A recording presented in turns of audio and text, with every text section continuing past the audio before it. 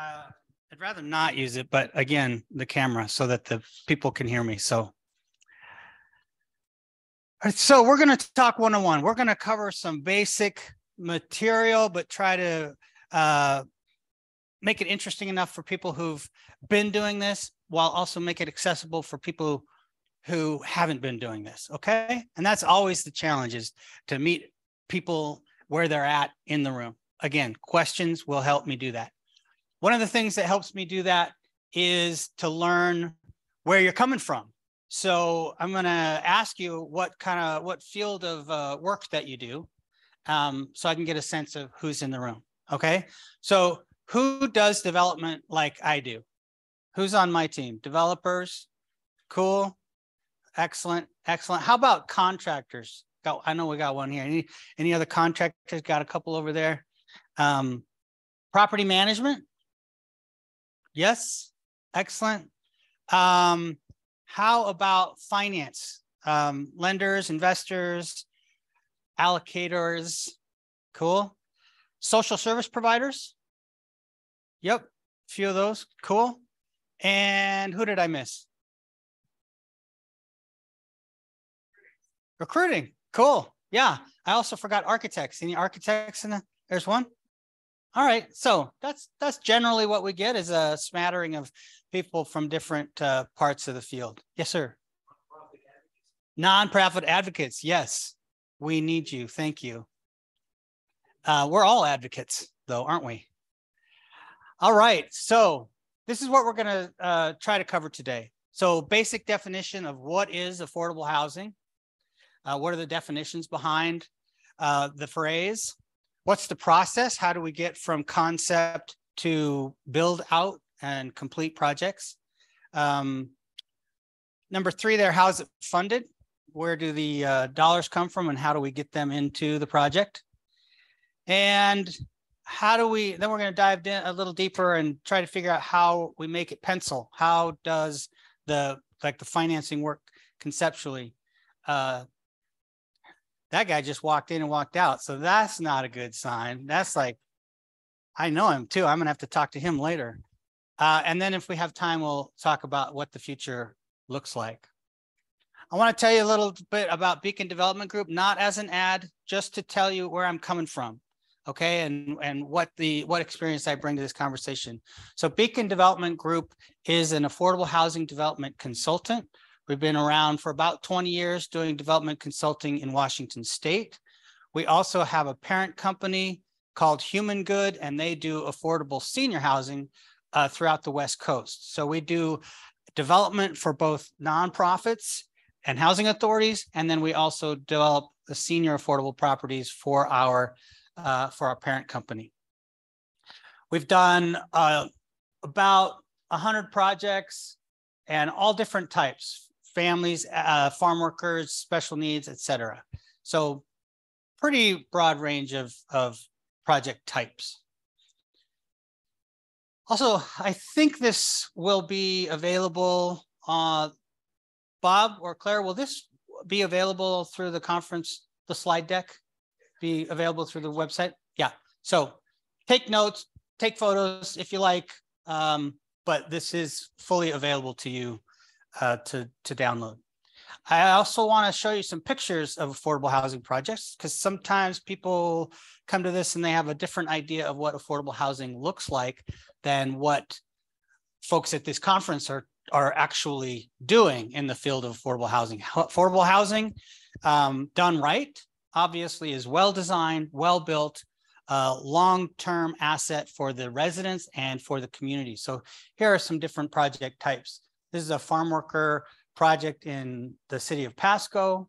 There's an affordable senior project in the city of Bremerton. Uh, this is uh, our favorite project. You know, you have favorite kids. Everybody has a favorite kid, right? You're not supposed to say that, but I do. I have two, and one of them is my favorite. Um, this is one of our favorites. This is with El Centro de la Raza, uh, Plaza Roberto Maestas, and it's a great project and it's not really my favorite, but uh, Brian is here, so I had to say that. But it, it's an awesome project combining childcare, neighborhood commercial, uh, a community center and 112 units of family housing right across the street from a light rail station. So this is, and, all, and all the others are exactly what affordable housing can and should be. And our office is there too. That's right. So I go there every day. Uh, this is a, an affordable historic project, combined historic credits and low-income housing tax credits right here in Spokane. Um, I think the neighbor's neighborhood's called the Hillyard neighborhood. Is that the right? Uh, Hillman, Hill, Hillyard, Hillyard. Uh, it's an old high school, and it was converted to affordable housing for uh, low-income individuals. A lot of vets uh, are served here. Anybody been to the new Pike Place Market redevelopment right downtown, facing the water? There's a great Old Stove Brewery, best view in town with a beer. This is just to the left of that. That's affordable senior housing, 40 units uh, using uh, low income housing tax credits. Awesome view, uh, obviously. HopeWorks Station, were there some folks from uh, Housing Hope in here? Yeah, uh, you folks know this project well. This was developed, what, a couple years ago now, a year and a half ago. Has it been that long? Oh my gosh, time flies. So this is a net zero project, meaning that all the uh, energy needs for the residential units are created by solar panels um, uh, on the roof and on the garage there. And on the ground floor is a job training program run by uh, HopeWorks with a cafe and other different uh, job training opportunities. Super cool project. Check that out on Broadway in Everett. And this is another Everett project. This is Colby Avenue Youth Center. This serves uh, a, homeless youth, both minors and folks who are 18 to 24. And a, a, a incredible need and a great program there run by the Cocoon House. All right, so that's what affordable housing looks like. Let's talk about how it's defined. So affordable housing means that a resident pays no more than 30% of their income for housing. So when you're talking rental housing, you uh, also have to factor in the utility allowance. So you add up someone's rent and their utility costs. If, if that's uh, equal to um, more than 30% of their income, then that is considered by the federal definition to be a, a housing cost burdened household. So um, the federal definition wants people to be paying less than 30% of their income for rent. Um, so people over 30% are cost burdened. People over 50%, we call that severely cost burdened. And it's pretty easy to imagine folks who are paying 40, 50% of their income toward housing costs are, are not able to afford the other needs that they have in their lives. So what we're trying to do is create housing opportunities for folks that are at or below, or at least near 30% of their income. By the way, did I tell you that if you ask a question, you, you can leave. If you don't ask a question, you have to stay. So just keep that in mind. A uh, little motivation. Um, ownership housing is a little bit different. It's a little bit higher because people are building an, uh, an asset. So it's usually more like 35 or 40%. Um, I'm going to be talking uh, exclusively about rental housing because that's what I do and that's what I know. But there is a part of the affordable housing continuum that is affordable uh, home ownership. And there are probably some people in this room who are involved in that. And uh, keep it up. It's awesome part of the work. But most of the subsidy and most, most of the resources go toward rental housing because those are folks who are lower income and by definition um, more in need of housing support. Yes, sir. You got out of your, your uh, detention. Good job.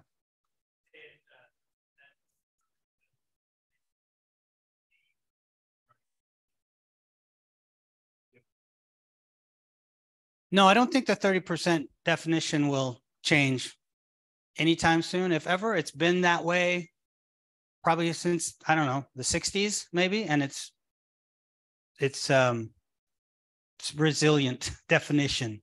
So I don't think we'll ever see a change in that. Um, okay. So it includes a whole range of housing types from shelter, uh, either night to night or uh, transitional shelter, uh, can serve all different types of populations, um, working poor, workforce, um, and, and ownership, which is more in the in the higher end of the spectrum. So lots of different types of housing can be considered affordable housing. And these are important uh, percentages, a lot of percentages and a lot of acronyms in affordable housing. So um, I'm going to get to what median income is in a moment, but uh, stay with me for a minute. These refer to percent of median income. So if someone is earning zero to 30% of an area median income, that's considered an extremely low income household. 30 or 50% and below is very low. 80% and below is low. There's a little note there though that says 60% because the tax credit program, as you'll see later in the presentation, is the primary source of affordable housing resource that we have, and it caps out at 60%. So most of the housing that we see being developed is serving people at 60 and below. But by definition, uh, low income households go up to 80%, and then moderate income is 80 to 120. Boy, the money's rolling in. Thank you for coming, everybody. Um, any questions on that? All right. So let's talk about median income. So median income, median means the middle, right? So median income means the point in the income continuum for a county where half of the households earn more than that median and half of the households earn less than that median. Okay. And every county has its own median income. I mean, some are the same, like King and Snohomish County happen to be the same. A lot of metro counties that are adjacent will have the same median income, but theoretically, every county has its own defined median income based on census data. HUD produces an annual um, table with all these incomes. The commission's uh, income and rent chart is based on that HUD data. So we're all using the same definition. So um, this is a chart for the for a three person household. It's different by household as well. So a one person household, these figures would be lower. A six person household, the figures would be higher. Okay, but I'm using a three person household as an example. So you can see Yakima, um, pretty low median income based on wages and income in that in that county. King and Snohomish, one of the uh, probably the highest in the the state, um, with 50% median being 58,250. So you can just double that 58,250 and and understand what the median income is for the for the county. So three person household median is about 106, no 116. Okay, now Let's convert that to affordable rents. So simple math, 30% of, of someone's income is the threshold.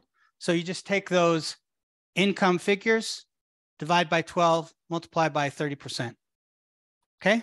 And that's what an affordable rent for those household uh, types. This, this is for, um, remember, three person household.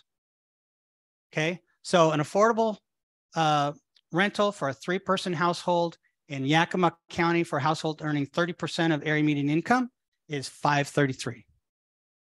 And for a 60% household in Snohomish King County, 1747.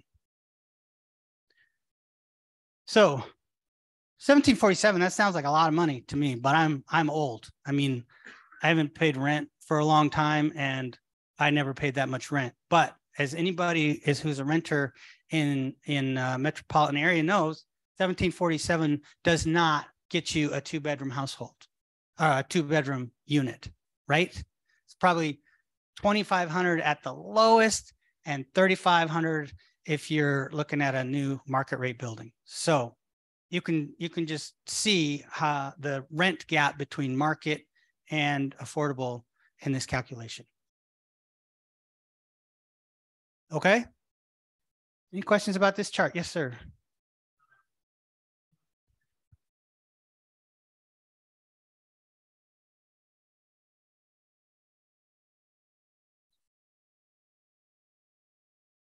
Yes, thank you for asking that question. I meant to point that out. So by, by HUD definition, um, the theoretical household size for a unit is one and a half people per bedroom. So this is a very nice, easy conversion because we're talking three person household and we're talking two bedrooms. Um, yeah, so two, uh, did I do that right? Yeah, right. So that's that's uh, an easy conversion. If you're talking about four person households or uh, one person, it's a little bit wonky because you get into half a person. But uh, it, this this would be with the assumption that a three person household is in a two bedroom unit. That's not always the case, but that is for the sake of simplicity in this definition. So thank you for asking that. Yeah.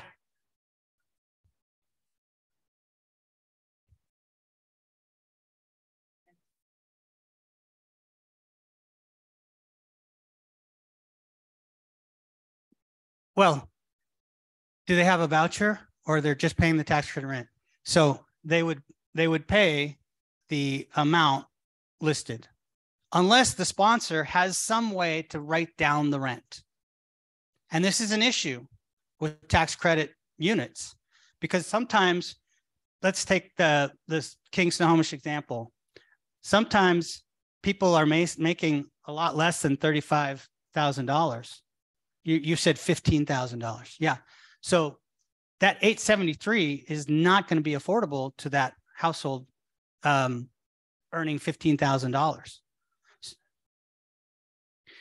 Well, property managers have different rules around that.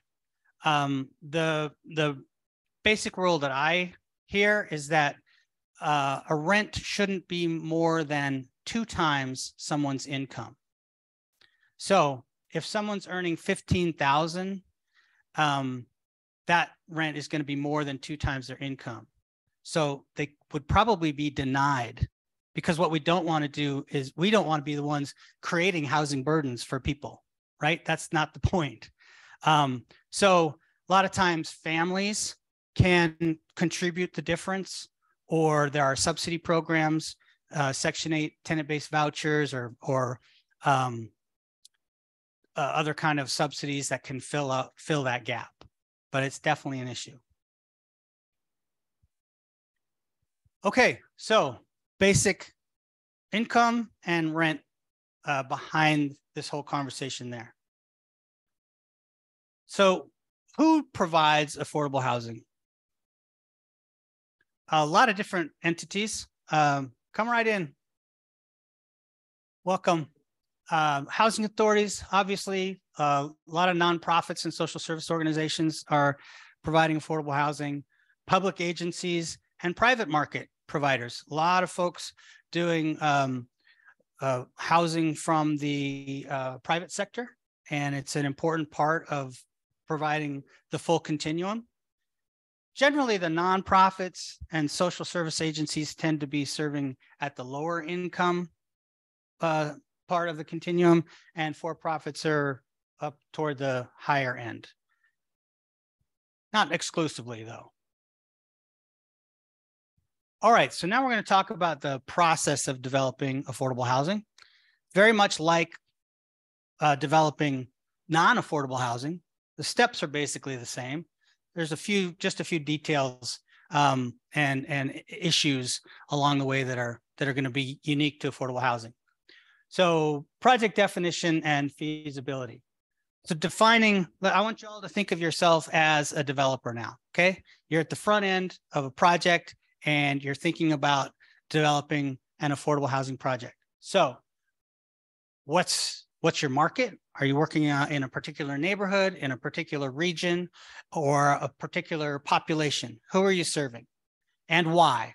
And are you the right entity to serve that population? What makes you qualified to do that? And you better decide that early because the funders are going to grill you on that later. And if you haven't answered that question uh, thoroughly, then it's unlikely to uh, you're you're unlikely to succeed in the rigorous uh, funding review process that we have in our world right now. So once you've defined the project and the location, then you would dive into due diligence, just like any real estate developer, uh, doing a, a site survey, uh, doing a phase one environmental assessment, uh, looking at the title report, making sure there are no easements or encroachments, and um, doing some early design studies. Then you start to build out your initial pro forma. We'll look at a pro forma later. And you're trying to define your costs. What's your site acquisition going to cost? What's your construction cost? And just double it because that's where we're at, right, Sean? I mean, depending how long you're going to be in there uh, in the process, uh, these costs are, are definitely skyrocketing right now. Um, define your financing and your soft costs and your reserve requirements uh, to build out a, an initial cost side of your pro forma.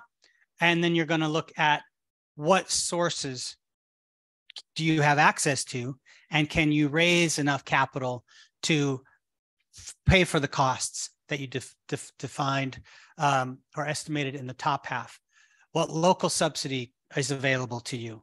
Uh, what about tax credits? Are you? We'll talk about tax credits later uh, too. But are you are you going to be competitive for tax credits? Uh, what rents are you going to charge? And would you have the ability to support any debt based on those rents? And so you've got your costs. Hopefully, you've got sources that equal those costs or at least pretty close.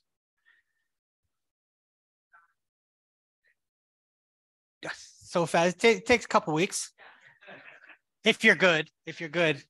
Um, most people that can take uh, a year, um, and it can it can easily take four years or more. It just it depends so much on um, the neighborhood issues, the uh, convincing funders about whether this is the right project. Um, it can it can take a very long time, but I would give it at least a year. Then you get to put all of that concept and all that thinking into funding applications. It used to be that we actually literally put them in binders like that. It's not the way, any, it's not that that way anymore. I kind of miss it. Building binders was somehow rewarding. Do they? But probably just one copy. Yeah.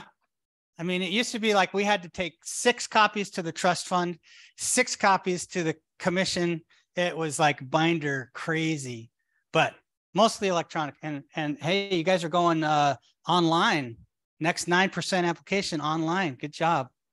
No more binders. I'm so sad.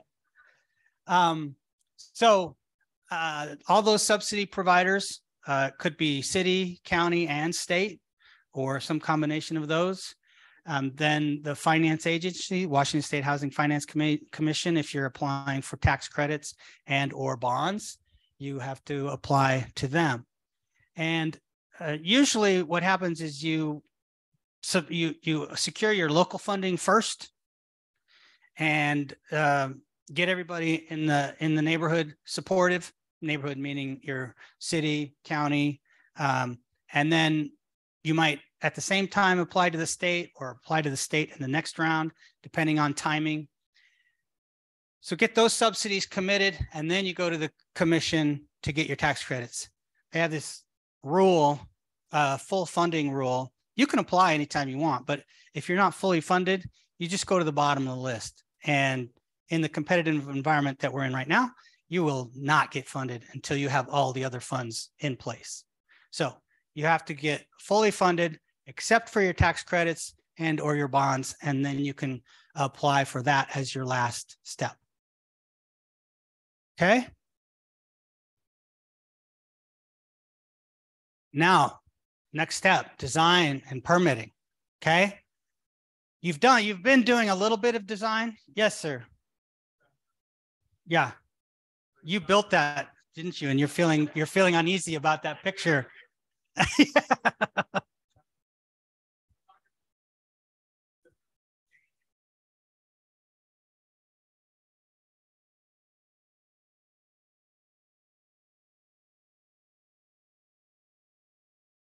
Um, yeah, so second bullet under two. Um, well, so it used to be enough that you could just say, we're going to do an affordable housing project located in this spot. Um, and that could be sufficient to succeed in the funding round. But as the funding becomes uh, more competitive and funders and the elected officials behind those funders are deciding, oh, well, we want to serve veterans or we want to serve uh, seniors or, or we want, you know, uh, chronically mentally ill. So it's become uh, less about developing an affordable housing project and more about developing an affordable housing project for a specific population. So that's what I mean by that. And it's a little bit different for different funders. So you're always kind of changing what the population might be based on what funding you're looking uh, to get. Okay, so design and permit. So um, hopefully you've gotten these funding commitments uh, before you launch into a full scale design and permitting process because it's expensive. Who's an architect? You you were right. So um, Andrew's got to get paid. So if he's going to do a full on set of construction drawings and permit drawings and follow that through the whole permitting process, that's a lot of funding um, that is required before you close. And so as a developer, unless you're rich developer, you're going to be hesitant to start that process until you have some certainty around your funding. Now, hopefully you're in a jurisdiction where permitting just, you know, snap of the finger, right? But a lot of jurisdictions are not that way. Um, especially some projects in Seattle I've been on lately, 18 plus months to get a building permit. So sometimes you don't have a choice. Sometimes you got to jump in and you got to just take the guess that you're and take the risk that you're gonna you're gonna get there. But um, most of the time, we we recommend to our clients don't launch fully into your permitting and your design process until you're confident that you uh, are going to get the funding.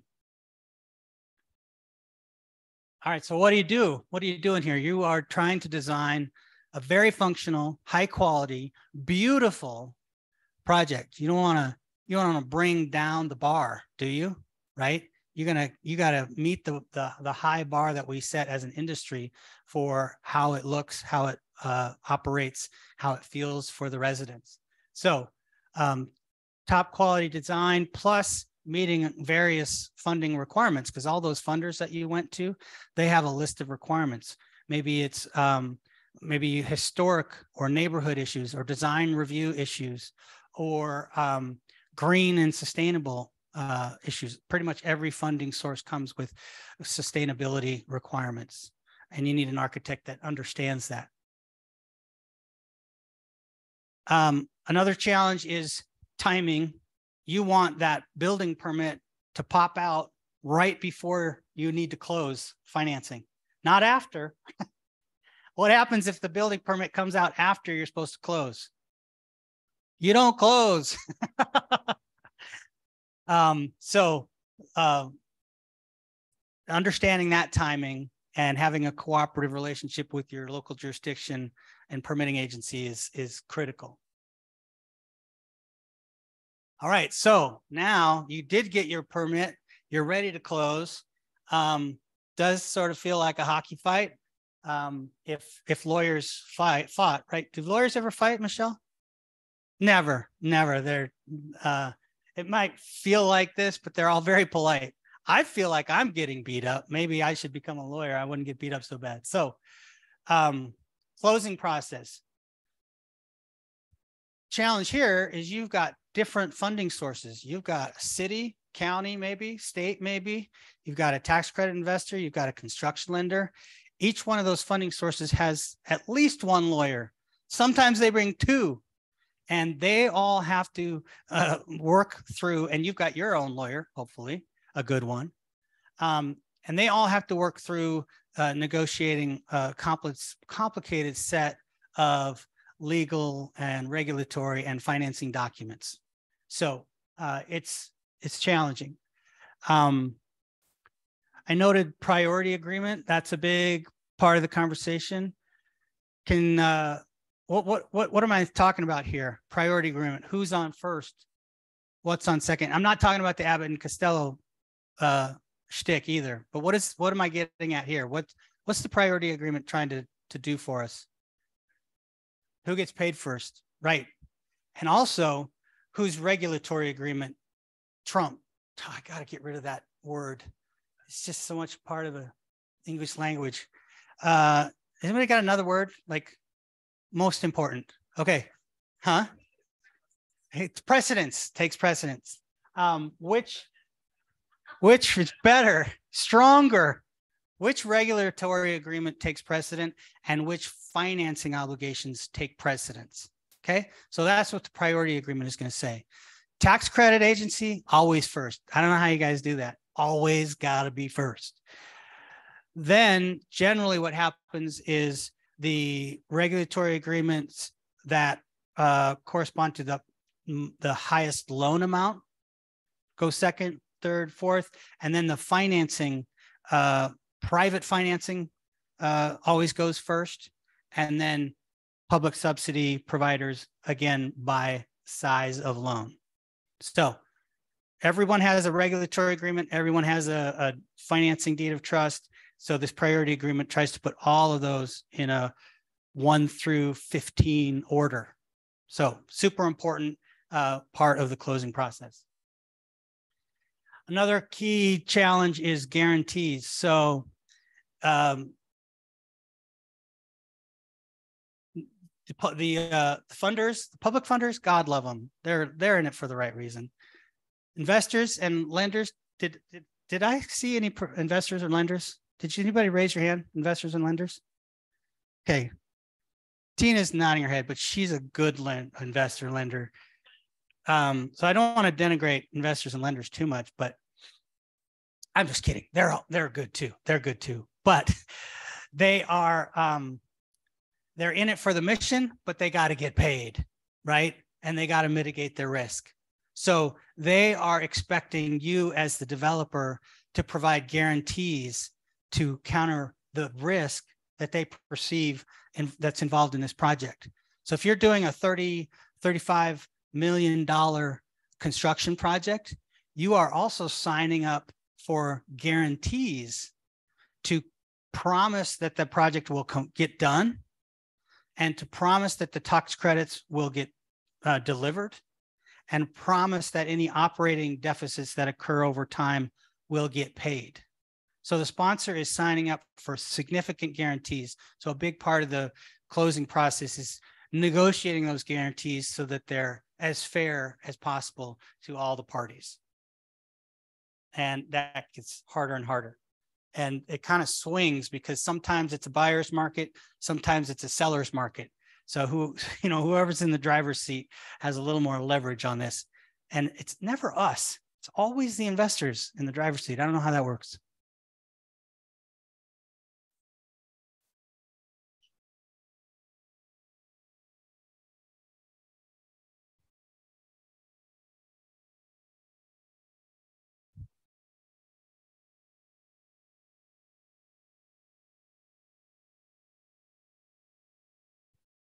Yeah. So impact of the pandemic on on projects and credit delivery. There's definitely been an impact. Either on the construction side, supply chain issues have delayed completion. So if you finish late, you're delivering credits late. So, you know, we've had multiple projects that had to negotiate a, a fair guarantee compensation. A lot of investors are are trying to be reasonable and recognize that COVID hit everybody. It's not just bad management on the part of a project, but that was uh, across the board. And then um, some some projects have been impacted by uh, move-ins. Leasing on some projects is a lot slower than it was pre-pandemic. Um, folks still need affordable housing, but it takes a little bit more to convince folks to move during a pandemic, which is reasonable. Okay. Let's keep going. Um, I throw this up just to elucidate the idea of what documents are involved in a closing. So this is just one lender. This is that state housing trust fund in most of the projects that we do. And this is a list of all the documents, um, all the main documents, not all the documents, all the main documents um, that are associated with this source. So multiply this by three or four or five different sources and you're tracking a lot of documents. All right, then construction.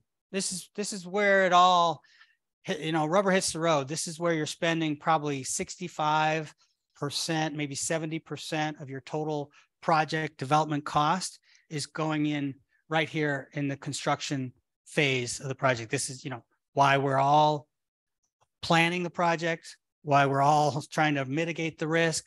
So at start of construction, we can proceed without issue whether it's new construction or an acquisition rehab, similar, you know, similar challenges.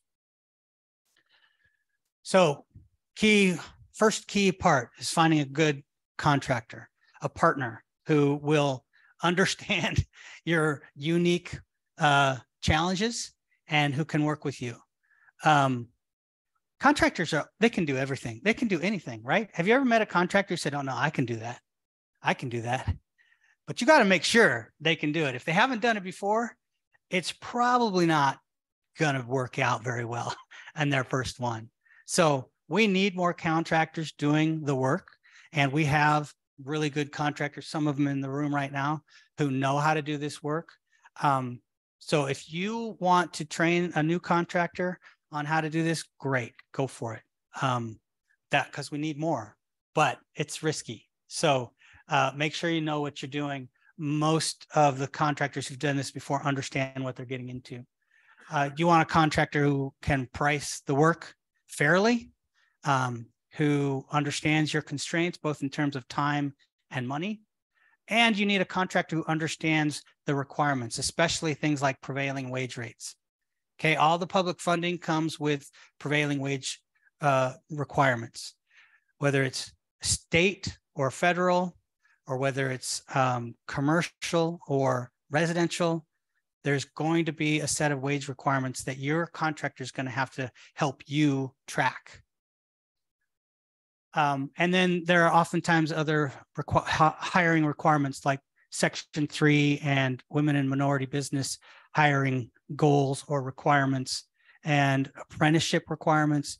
So lots of things that the contractor is going to have to help you uh, promises that they're going to help you make good on because when you got those public funds, you made the promises. And then you pass that promise down and you say, contractor, you got to help me make meet meet these uh, obligations. And then there's lease up and management. This is what leasing and management feels like to me, and that's why I don't do it. It's too it's too hard. It's too hard. Too many moving parts. Uh, God bless the property managers because they have to take all of those promises that you made and they have to run a building meeting all those different rules and just you know dealing with people dealing with people is so hard uh, and and you know maintaining um, a quality environment for folks it's all very difficult um, so leasing up a building you're going to have lease up requirements you uh, have promised your funders and your tax credit entities who you're going to lease up to and when you're going to complete your lease up. So you have to make meet those obligations and then uh, manage the property over time. Okay, so that's a little bit about the process. Any questions? Thoughts? Saving them for later? By the way, there's some cool app that I don't have, but some some people I think submitted questions, and we'll pick those questions up at the end. Uh, hopefully, I've, I will have answered them by then. But if not, we'll pick them up at the end. Okay. Next section: How is it funded? So we've been talking about this, but let's look a little bit more in detail at where the funding sources come from. And there, I'm going to I'm going to divide the funding into two categories. There's the capital funding and the operating funding. So on the capital side, the subsidies that you need to assemble in order to build the project or acquire and rehab the project. And then the operating, if you need a subsidy to run the project, that would be called an operating subsidy. Some projects need that, some projects don't. We'll get into that difference a little bit later. All right, so where are you going to go to get those funding commitments? Let's start with the local city and county level. So there's something called an entitlement city. Those are cities and counties that have a certain population size, and they get federal home and CDBG, dollars on a pass-through basis, like City of Spokane, uh, Yakima County, um, Snohomish County. Those are all entitlement uh, jurisdictions. So they get a pot of money and they get to decide how to allocate that. Jurisdictions that are not entitlement cities uh, go to the state and they get to access the same dollars through a state process. Bryan.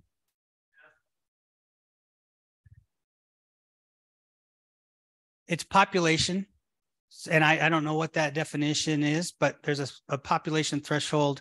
Anybody happen to know what that is? Um, pardon? 50,000?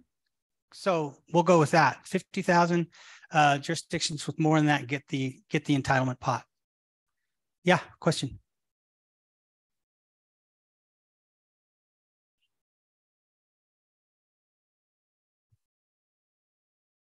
Yeah, yeah, no, that's that's true. So if a if a small city is in an entitlement county, they can apply to that county for funding. Um, but if an entitlement city or county is in like Oreille County, I doubt very much that Oreille County or any city in Oreille County gets an entitlement. So they either uh, uh, a project in that location would have to go to the state. Okay. Um, property tax levies. There are some jurisdictions that raise uh, funding through uh, a levy on the property tax. City of Seattle has been doing that for something like 35, 40 years, one of the first property tax levies in the country. And City of Vancouver, City of Bellingham have recently added housing levies. And then the King County uh, VSHISL, they call it. I love saying that. Um, it's easier than the full name, which is Veterans and Human Services and Seniors. I forgot the seniors. Um, they also have a levy that partly goes toward housing. And then 20 and 2063, those are state bill numbers that refer to recording fees. So when you record a real estate document in your in your county um, recorder's office, they collect a fee, and some of that fee goes toward affordable housing. There are regional consortia. Uh, ARCH on the uh, in the Bellevue, Redmond, Kirkland area is such a, a source of funding. 1590 and 1406 are two recent state bill numbers that raise. The first one allows a jurisdiction to increase their sales tax by one tenth of 1%, and they can dedicate that to affordable housing. 1406 refers to a process whereby a jurisdiction can retain some of the sales tax that it's supposed to pass through to the state, and they can keep it and and and use that for affordable housing. So a lot of new uh, uh, funding sources coming through uh, the state legislative process and more to come, hopefully, in this next uh, biennium. All right, then let's talk about the state level. So state commitment to affordable housing is super critical, especially in all those places that don't have a property tax levy. All right, and uh, I've been keeping track of this. I've done. I've been doing this presentation for a while, so uh, I keep track of the biennial commitment to the Housing Trust Fund. So check that out. In uh, 07, 09, $200 million. Then it fell for many years. Uh, 08, we all know what happened in 08. Um, and it took a while for that to trickle through. We hit a low point down here in 15, 17. And then it wasn't until just this last biennium that we beat that 200 million and we blew it out of the water. $714 million toward affordable housing in the last biennial budget. And that's a, a combination of a lot of things. I don't think we'll see that number again because a big part of that was uh, rapid acquisition money. And those, both of those numbers were pass through dollars from the ARPA legislation, uh, federal COVID relief legislation.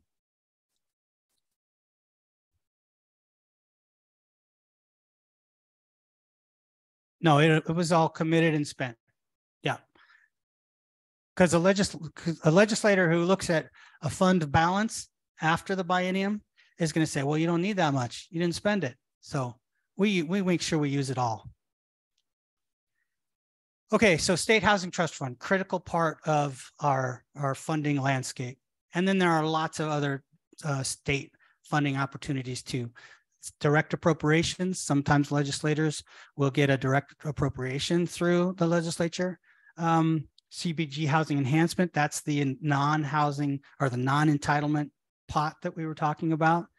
State level 20, 2063, real estate excise tax, TIF light. TIF light uh, refers to tax increment financing, and that's a uh, a it's a funding mechanism that has been used in a lot of states, but was determined to violate our state constitution. So it's not available, but we're trying some pilot programs to use that. And in, in real quickly, what it does is it it takes the tax the the tax assessment value of an underdeveloped community as the baseline. And then a community invests to create more development in that location. And the increment that uh, of tax value that grows through that development is called the tax increment.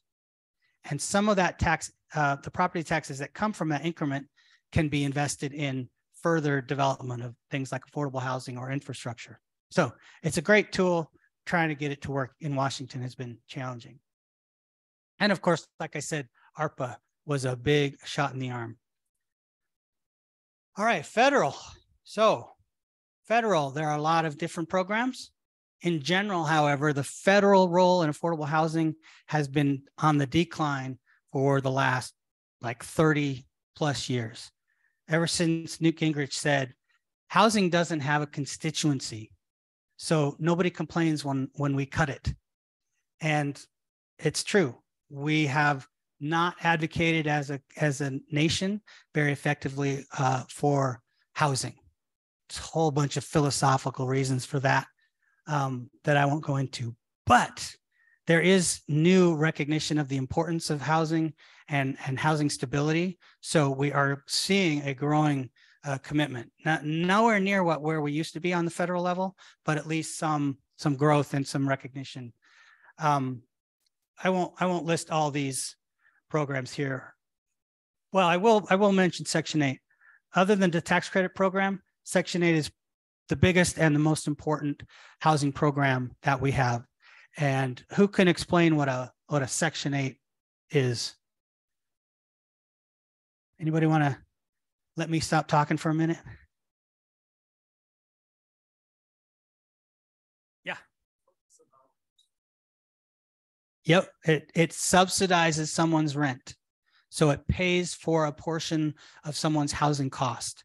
So someone who has a Section 8 voucher, and those are administered by housing authorities, but the bill is paid by HUD at the federal level, uh, that voucher entitles someone to pay 30% of their income for rent in a housing unit, despite what the rent may be, the voucher will pay the difference. So let's let's say someone someone 30% of someone's income is $300 but the rent is $1000. The voucher pays the $700 difference. Okay?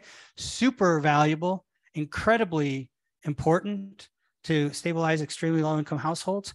Also very expensive because as housing goes up astronomically and incomes for low income people stay flat, the, the delta grows every year.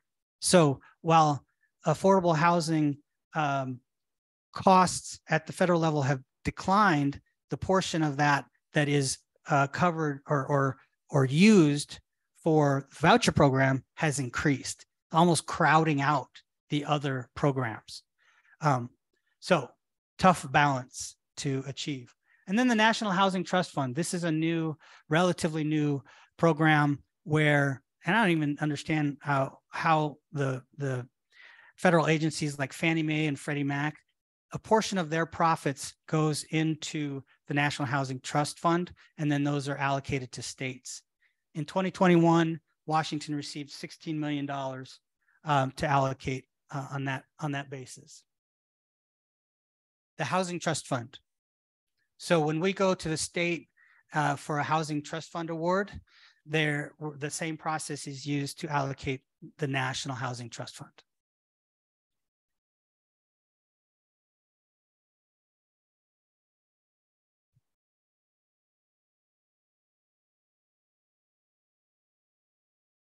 You know, I'm I'm less acquainted with that because I'm less uh, uh, engaged in the services program. But I believe every county has a uh, a continuum of providers that help inform counties how to utilize the McKinney funds. So I think every county gets a pot, and then they decide where to invest the those operating subsidy dollars. Yes.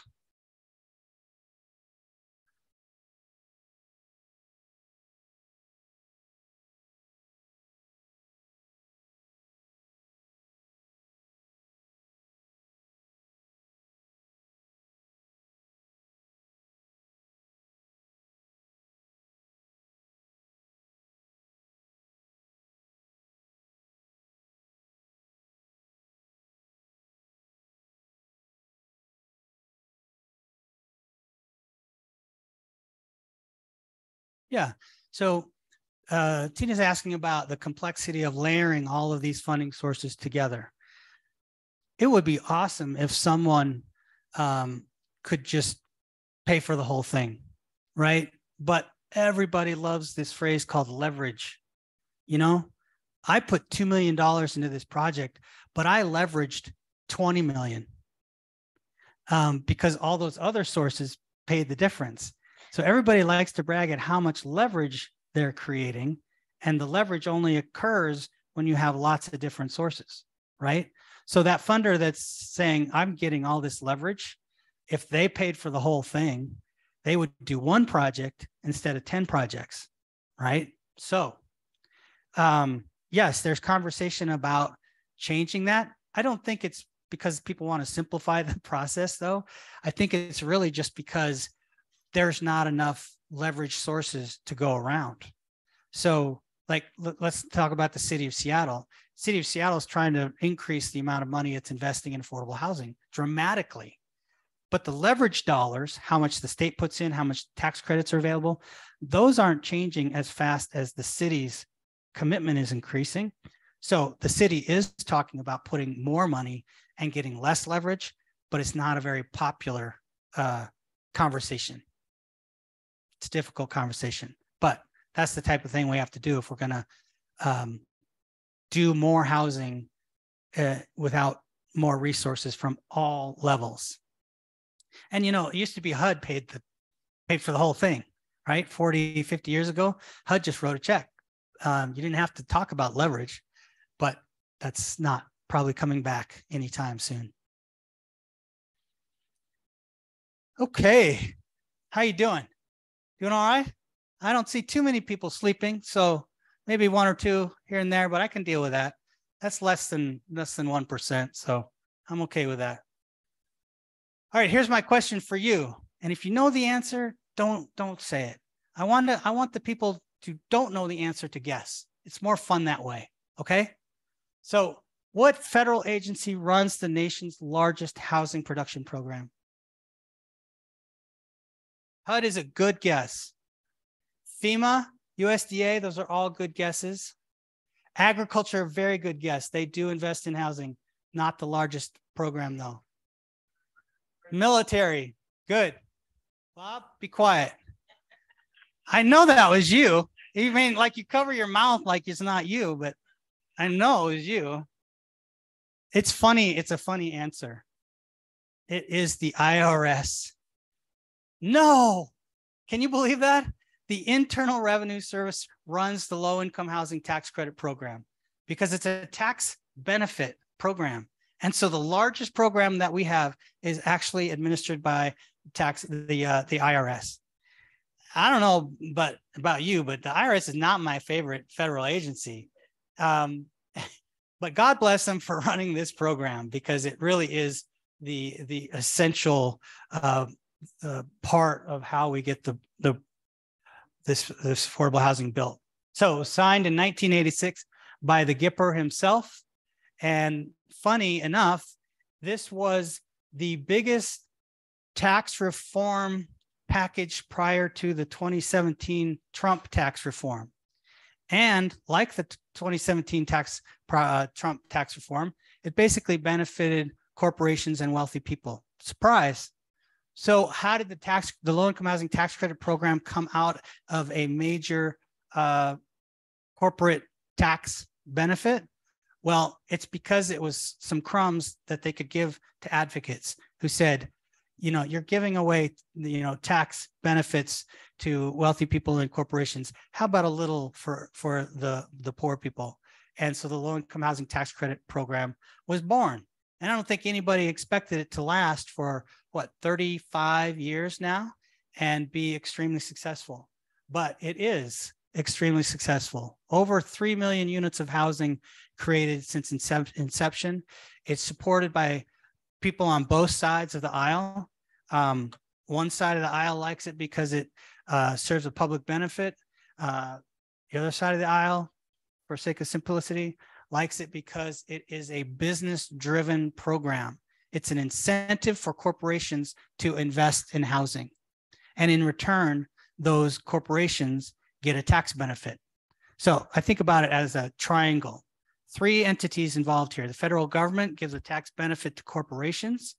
The corporations give equity to affordable housing providers, and the affordable housing providers create affordable housing, which is a public good and is necessary um, to stabilize our communities. All right, so all those entities involved in a mutually beneficial cycle. And that's why it survives. May not be the most efficient way to do housing. The old HUD way was the efficient way to do housing. You know, one check and you build a bunch of units, but that was not politically sustainable. This program is politically sustainable because it has fans um, from uh, all sides. Not everyone's a fan, but it has a lot of support. So uh, it is a dollar for dollar reduction in a corporation's tax liability. Okay. So it's not cash. The, the Treasury is not writing checks to corporations. What the Treasury is doing is telling a corporation, oh, you you invested in this affordable housing project. So I'm gonna I'm gonna write off some of your taxes. I'm gonna credit or forgive some of your taxes. And so in that way, it's like cash, but it doesn't come from the federal government. It's cash that didn't go to the federal government, right? How tricky is that? Because that's invisible. That's not an expenditure. That's a that's a opposite of an expenditure, right? It's an it's a non-expenditure, and that's another reason why it's um, why it's popular because it doesn't show up in the budget. The tax credit uh, is a 10-year credit, so you go to the State Housing Finance Commission, our friends Bob and Claire over here, and you get an allocation for an annual amount of tax credits.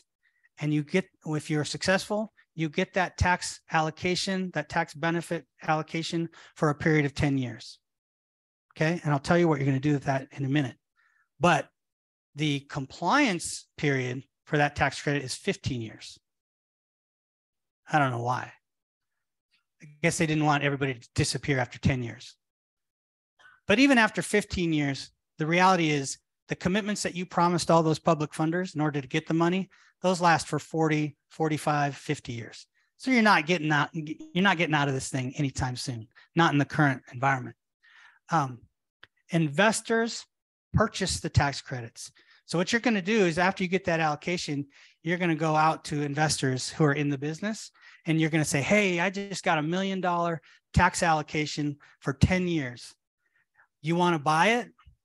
And they're going to offer you um, a price to buy that tax benefit.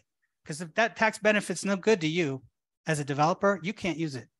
Only corporations um, can use this and corporations with a consistent tax liability.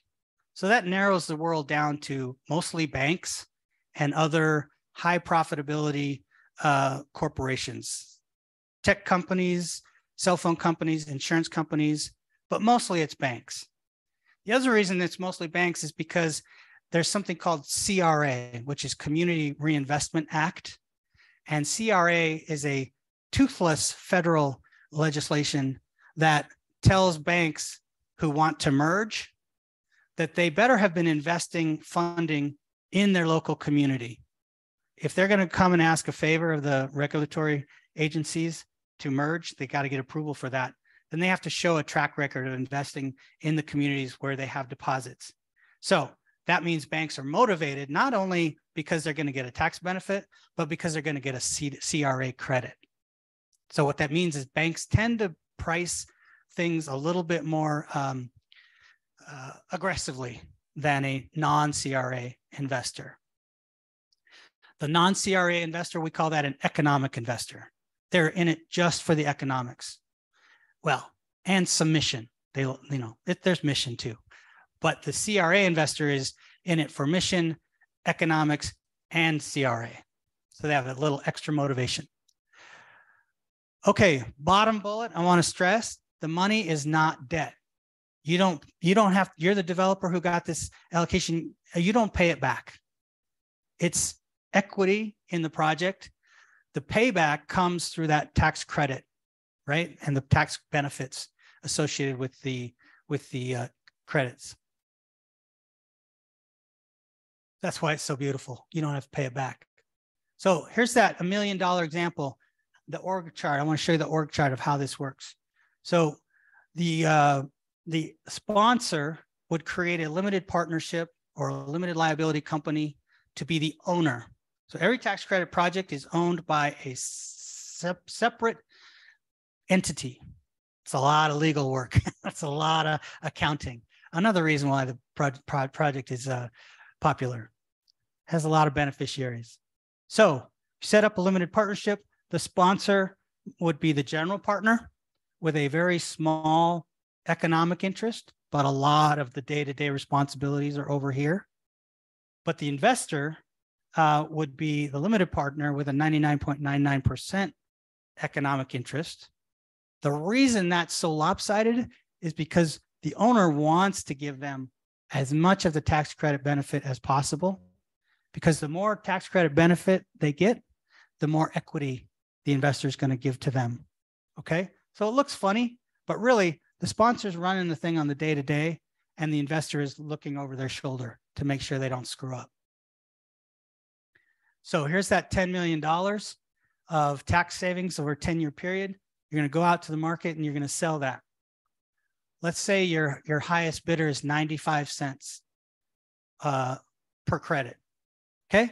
So nine and a half million dollars of equity. That buyer is telling you they're going to give you nine and a half million dollars of equity today, well, more or less today, during the construction process, um, if they get $10 million of, of tax benefits over the life of the credit.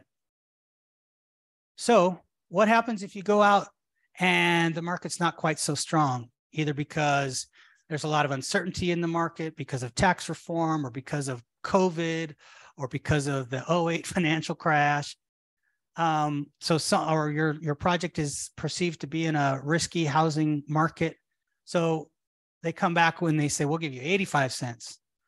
Okay, cool. But that million dollar difference, you got to make that up somewhere else. So when the market is down, then the public subsidy providers have to fill more gap. And right now, construction costs are going through the roof, right? So that's another way to create more gap Guess who has to fill that gap? Investors can't pay more. so public subsidy providers are having to fill gaps created by the current cost increases. All right, questions about that part of the process?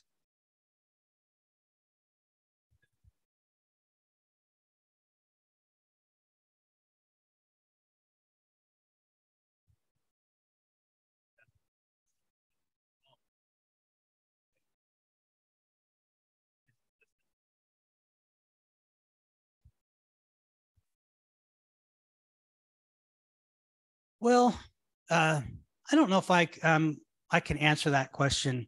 Um, there's there are definitely investors who want to do tax credits, but there's kind of a there's a point of at which they no longer make any money, right? They got to make some money because they are investing and they require a return. So there's kind of a bottom, and depending on how a project is structured and how the tax system is working at the particular time, that bottom right now is about mid 90s. Um, but for a project in a rural area, that's probably more like 85 cents. So while there are lots of investors out there, there's a certain point at past which they can't go, and there are certain risks that they can't accept. So there are a lot of dollars out there, especially if they only have to pay like 80 or 85 cents, right? But that's not enough. So um, we're, we, we're always pushing them to get more dollars. The good thing is there's right now more investors than there are credits. So that's good. That keeps the price up. Yeah, back in, in the back, and then I'll come to you, sir.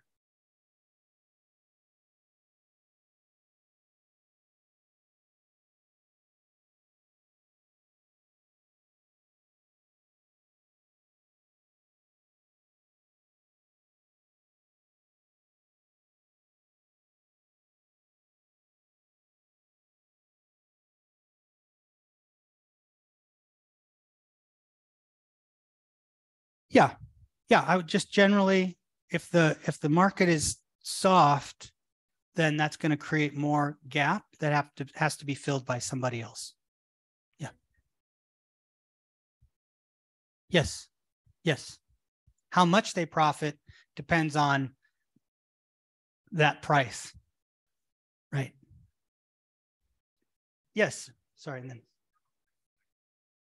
No, the the um the federal government gives the tax credit to our friends Claire and Bob at the Washington State Housing Finance Commission. Every state has an allocating agency.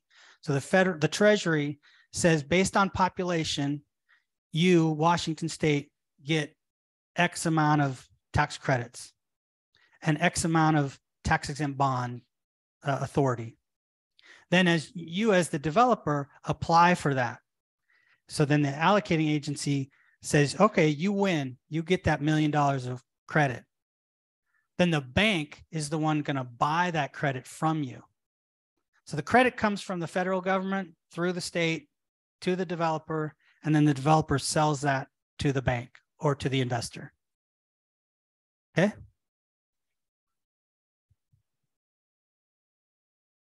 Uh, tax credits, yeah, yeah, they they will they would buy um, in major banks like US Bank, Bank of America, KeyBank, all those national banks, Wells Fargo, they have huge investment departments that are just placing money in tax credit projects.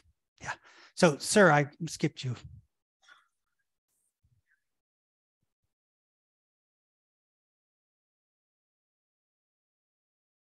Yeah, yeah, good question. There was a time, oh, it was a glorious time when credit prices were more than a dollar. So can someone explain why that might be? How could how could a bank get a return if they're giving this like on this example, if they're giving let's say they're giving 11 million dollars for 10 million dollars of tax credits. Why would they do that? The CRA need would help, but there's another thing. What'd you say? It's not tied to interest rates. Um, it's tax depreciation. The invest in real estate investment has another type of benefit. Everybody who invests in real estate also gets a uh, tax loss benefit. And those losses are driven by depreciation.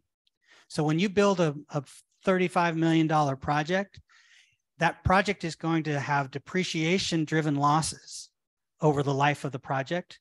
And those losses are also a tax benefit, not as valuable as a tax credit, because a tax loss is a deduction, but it's still a benefit.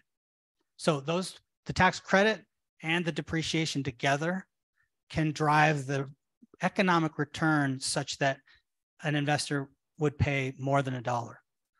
The 2017 tax reform changed that, changed the depreciation rules so that depreciation became less valuable to investors and therefore uh, reduced pricing to below a dollar.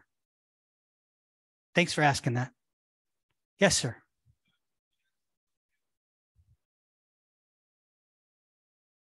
Yeah, yeah, yeah. So I, I, I skipped that bullet. Thanks for for asking that. So there's two types of tax credit. There's a four percent tax credit and a nine percent tax credit.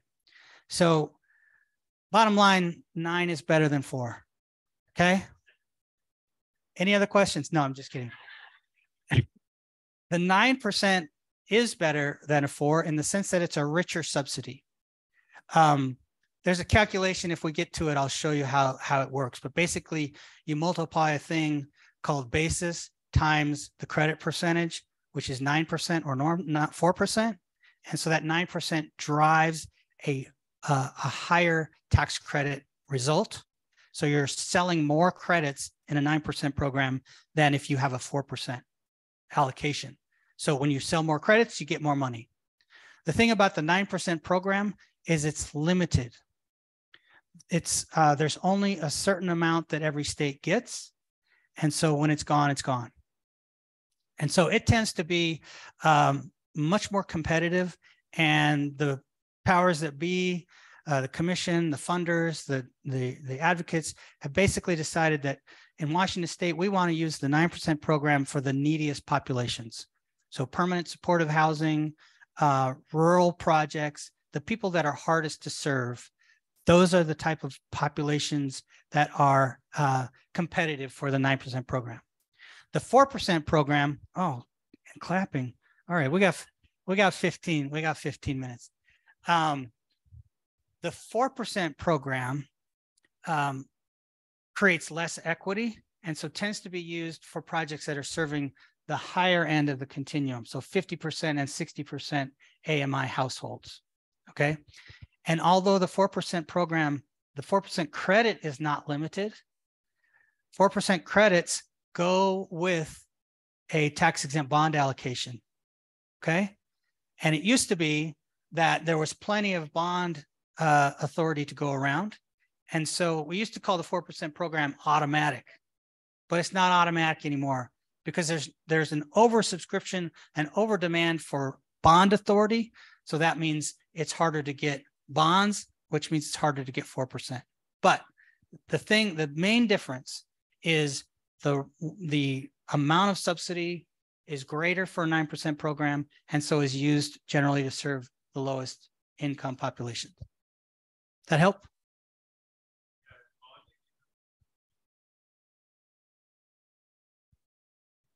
That's very possible. Yeah. So as interest rates go up, bond projects become uh, it's more difficult to to make them pencil, uh, and so there could be a decrease in demand for for uh, four percent credits. Yes, but as long as there are public subsidy providers out there willing to, Dan, I didn't. When did you sneak in? I should have been calling you out too. I've been picking on Claire and Bob this whole time. Uh, Dan, I got to pick on you some more. Only got 15 minutes. Um, so yeah, as but as long as there are public subsidy dollars to fill the gap. Um, hopefully, we'll continue to utilize the, the 4% program to its full potential. Okay. This is great. We're covering some good ground. Good questions. Thank you, everybody. This makes it more fun for sure. Where were we? All right. let's do this real quick. How does it pencil? All right. Um, what I want to get at here is the question of how how does how does it why does it take all of these subsidy programs to make this work? Why can't we just do this in the marketplace? Well, certain parts of the of the affordable housing need can be done with the marketplace, with private motivated capital. But a lot of it can't. And I want to touch on why that is. Okay, so let's look at a $20 million uh, conventional real estate deal. Okay, something like uh, uh, 60, 70% of that project cost is going to be covered by debt and the different the rest is going to be covered by equity that the private market uh, the private developer has to invest in the project right? And that equity the, the rent income pays for the debt and then if there's a little left over that pays back the equity provider. And then when the project gets sold the appreciation the higher value of the real estate further compensates the equity provider okay why can't we do that? Well, the people who do affordable housing don't have a lot of equity to put in a project. And even if they did, why would they do that? The rents are restricted and they're not going to sell the project generally. So they're not going to get return uh, on an annual basis and they're not going to get return by flipping the project. So it doesn't make economic sense to invest significant equity in affordable project. So how, we have to make that up in different ways. The other thing is the rental income is restricted because you're serving poor people. So you're not going to have a lot of money to provide debt. So you might have a little debt.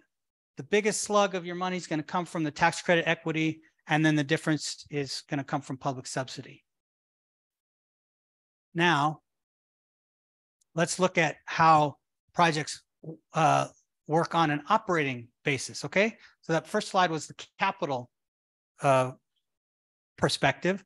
Now we're running the project. Okay, so a conventional real estate deal, got your market rents, deduct your operating expenses, your debt payments, and you have some cash flow.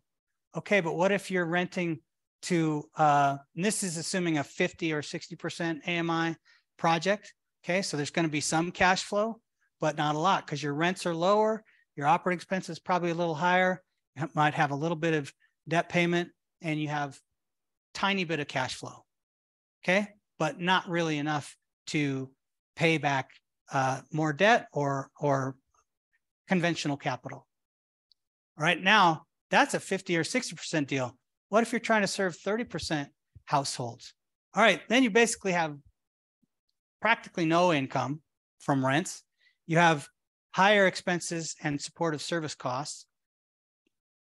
And so just to break even, you're going to need some kind of operating subsidy. Okay. And that's where the Section 8 program or state operating and maintenance subsidies or service dollars come in to make that project just break even on a year to year basis. Okay. Now we're running low on time. So there 10 more minutes. So i'm just going to flash through these okay? This this is uh we'll call this part two all right? So we'll we'll cover this next time whenever that is. But this is your basic pro forma all right? So land cost construction cost as as i was pointing out the biggest number you got here is construction and contingency and sales tax. That's the bulk of your cost. But then there's insurance reserves developer fee etc then you put that through the tax credit calculation. And I'm not going to try to explain it all, but just think of it as a whole bunch of multiply this, divide by that, and you get a number down here at the bottom. All right. So that project, yeah, like I said, part two, that project, $19 million project, 60 units. It's probably going to cost more now. I need to update these numbers. Um, based on a whole bunch of assumptions that live in the tax credit application world um, and assuming a 95% pricing, you can come away with $11.9 million. And then other sources of funds are going to fill out your capital stack. So what I what I want to show you here is the, the number that's different is right there. In this pro, in this project, we have 130%. That's called a basis boost. When you're in a qualified census tract, which is a high poverty area, or you're in a rural location, or you're in what's called a DDA or a difficult to develop area, you get a 30% boost. That's worth a lot of money because if you're not in that 30% boost and you're using 100% right there in that part of the calculation, we just created a $2.7 million gap on our project. So um, guess what? Guess who's going to pay for that? Public subsidy providers. So unfortunately, um, the demand uh, for projects uh, like this and projects that are suffering from cost increases, it, it kind of comes back to the public subsidy providers. And then this is an operating pro forma. So really quick, you're just taking your unit type, how many, what are the tax credit rents, deduct the utility allowances, because remember the utilities are in the calculation.